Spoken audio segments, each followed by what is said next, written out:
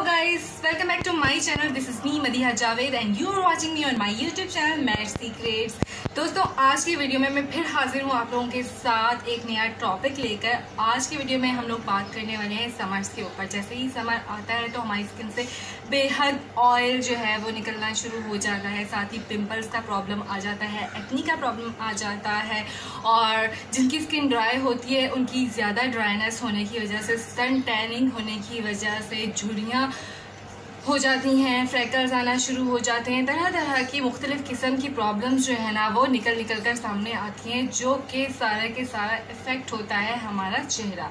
और उसकी वजह से कलर तो कॉम्प्लेक्शन तो ख़राब होता ही होता है। साथ ही साथ हमारे कलर के, हमारा चेहरा जो ख़राब हो जाता है ना, उसकी तो बस क्या कहूँ। आप लोग खुद जानते होंगे कि आप लोगों के चेहरे के साथ क्या क्या होता होगा तो इसी को लेकर के मैंने आज एक मज़ेदार सा टॉनर बनाया है। खाना नहीं है इसको लगाना है। तो फ्रेंड्स इसको लगाने से आपके जितने भी प्रॉब्लम्स होंगे ना समर्स में, आपने बस इसको बनाकर रख लेना है। समर्स में और कोई महँगी प्रोडक्ट खरीदने की ज़रूरत ही नहीं पड़ेगी आपको। आपने सिर्फ़ इसका स्प्रे करना है दिन में तीन से चार मरतबा और आपको इसके बहुत अच्छे रिज़ल्ट मिलेंगे। आपका चेहरा नीट एंड क्लीन रहेगा। इसके अलावा ये आपसे, आपको सन से प्रोटेक्ट करने का भी काम करेगा।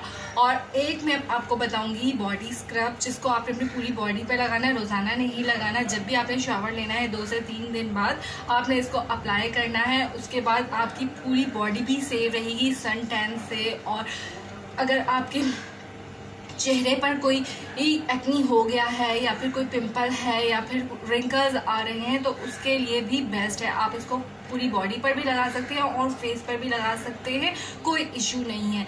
तो बिना टाइम वेस्ट किए हुए चलते हैं ट्यूटोरियल की तरफ़। लेकिन ट्यूटोरियल पर जाने से पहले जल्दी से चैनल को सब्सक्राइब कर लें। जो लोग भी चैनल को फ़र्स्ट टाइम देख रहे हैं और वीडियो पसंद आती है तो इसे लाइक और फैमिली और फ्रेंड्स के साथ लाजमी शेयर कीजिए।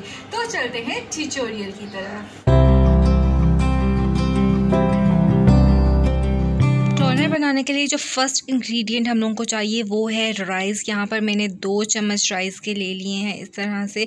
आपने कोई सी भी चावल आप लोग ले सकते हैं, जो भी आपके घर में अवेलेबल हों, आप लोग ले सकते हैं। इसके बाद आपको चाहिए लेमन लेमन आप लोग एक अदद यूज़ कर सकते हैं और एक गिलास हम लोगों को पानी चाहिए चावल को वॉश करने के लिए। तो चावल को अच्छे से आपने वॉश कर लेना है और इस तरह से आपने जो है वो लेमन को क्यूब्स में उसके पील के साथ जो है वो कट करके इस पानी के अंदर ही डालकर डिप करके तकरीबन दो से तीन घंटे के लिए ऐसे ही रख देना है ताकि जितनी भी प्रॉपर्टीज़ हैं, जितनी भी गुडनेस है चावल की और लेमन की, इसमें आ जाए।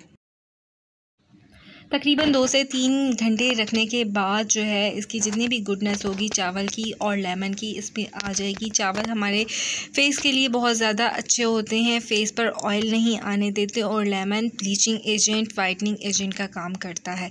तो ये दोनों चीज़ें हमारे फेस के लिए बहुत ज़्यादा अच्छी होती हैं। अब इसको एक स्प्रे बॉटल में आपने डालकर स्टोर कर लेना है। लास्ट में टोनर के अंदर एप्पल साइडर विनेगर का एक स्पून ऐड करेंगे। ये बिल्कुल ऑप्शनल है। अगर आपके पास घर में मौजूद है तो आप डालें, वरना तो आप लोग इसको स्किप कर सकते हैं।